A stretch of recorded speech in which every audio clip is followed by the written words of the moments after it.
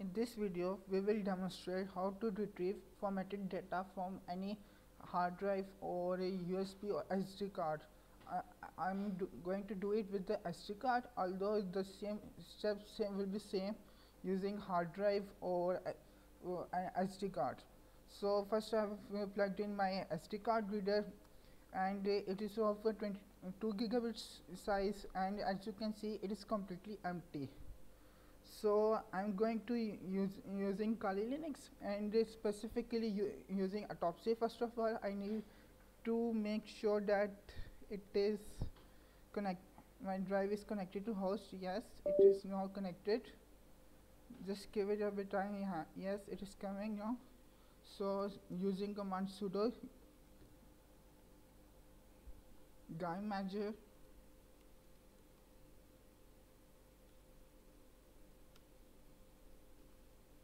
I've been entering my password. Now I'll be using entering double click on it and uh, acquire image. I'll be using Linux dd raw I. Do not want to split images. I want to store my files into temp folder because it's recommended to store them in temporary directory. So now I'm going I'm going to give it them a name like USB 01 so now I'm going to start it. So in the more high the size you have in your drive the more the, size you have in your disk the more is it is going to take time and the more to make an image of a USB drive in my case it is of only 2 gigabits uh, so it's taking a bit less time. Let us come a bit later until it is done. So as we can see it is done now. So we need to go to that specific directory where we saved it. File system temp and we gave it a name usb01 uh, here two files are created .dd and .info. We are going to open .dd and uh, control look for hash values for further comparison.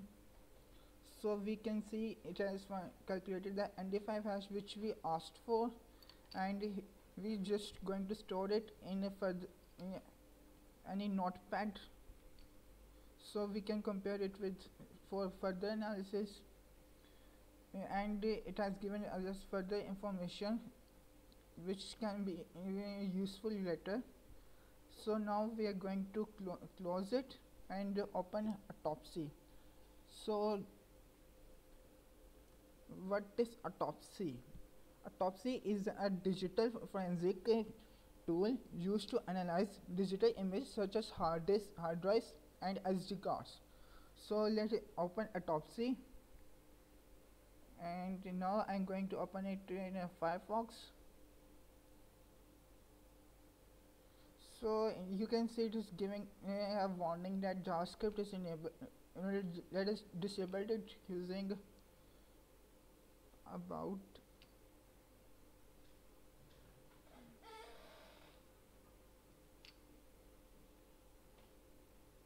config you need to accept and continue the risk search javascript. Here you can see it is javascript enabled. You can just false it. So when you go back to that tab and refresh it so you can see the error message is no more showing. So you, you here we will create a new case. So uh, this tool is being used by like uh, many other investigations uh, to investigate any case for presenting it into the court of law for further analysis for connecting dots. So it has a detailed uh, analysis of storing the cases. So we will uh, we can say the case number like 20 20 22 description. Uh, fab, fab cases and here I'm going to give my bit name. I'm going to create a new case. So adding a host is not as critical but we need it since this particular evidence was captured as a part of a uh, USB, USB thumb drive SD card. So it is not associated with the specific system. So I'm just going to go through it by adding host host 1 just every uh, leave everything as it is add host. Now I need to add image add image file. So uh, open folder file system temp for properties. And just need to copy its uh, where it resides so I can type temp usb 0 0 1 dot dd I just need to make sure that it is the correct name yeah. It is so I'm going to disk and I'm going to copy it. Next. So uh, disk image. So now if you do not see anything shown below so uh, just think that uh, the type which you selected uh, was not the correct one so I need, need to specify again. I need volume image. So now you can see that it is saying that yeah it is a FAT16 type. I need to calculate the hash for this image. And uh, yeah I just add it so it's now calculating md5 hash so again uh, the more the larger the file is the more it take it is going to take time. So as you can see it has uh, calculated the hash. Now just copy it. And you can see it's bit same like which uh, we calculated earlier. So we just make may hash to make sure that the integrity of our file is maintained. And our file has not been overwritten or it had not been changed by anything else so it has done an analysis. So done ok so select it and analyze it so it has further tools like file analysis. Uh, so at the moment we do not have anything in it. So it is just giving us a fat1 fat2 and other types. We can see the metadata. Metadata information like uh, here we are getting some values again we're going to this file values. So at the moment we're just going to retrieve on deleted files.